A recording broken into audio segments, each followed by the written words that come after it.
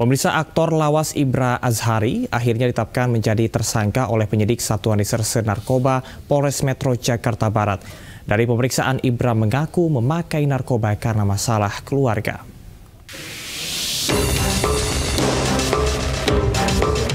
Satuan Reserse Narkoba Polres Jakarta Barat telah menetapkan empat tersangka terkait kasus narkotika yang menjerat Ibra Azari.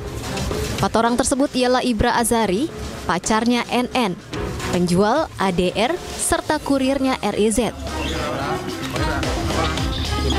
Total barang bukti dari keempat tersangka yang berhasil diamankan polisi yakni narkotika jenis sabu seberat 12,35 gram, ganja kering seberat 25,36 gram, alat hisap sabu, timbangan digital, serta korek api yang sudah dimodifikasi.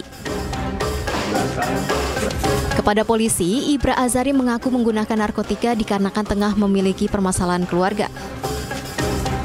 Dari hasil penggeledahan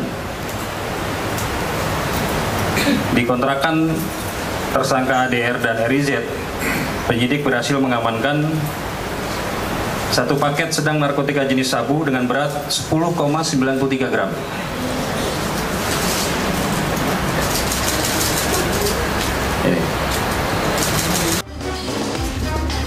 Pada tersangka Ibra Azari dan NN akan dijerat dengan pasal 114 ayat 1 subsider pasal 112 ayat 1 junto pasal 132 ayat 1 Undang-Undang RI nomor 35 tentang narkotika dengan ancaman hukuman seumur hidup atau 12 tahun penjara.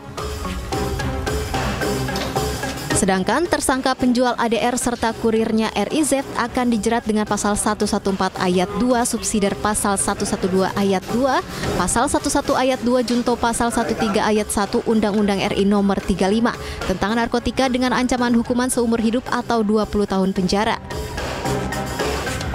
Dari Jakarta, Rizky Falufi iNews melaporkan.